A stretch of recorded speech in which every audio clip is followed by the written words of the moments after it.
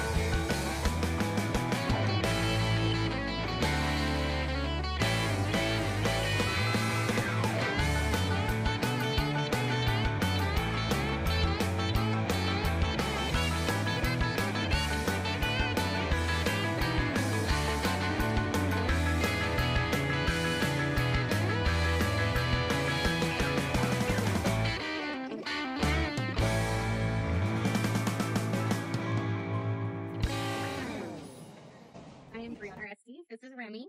We started with Off Leash to help give her some puppy manners and be able to welcome a little baby in a few months.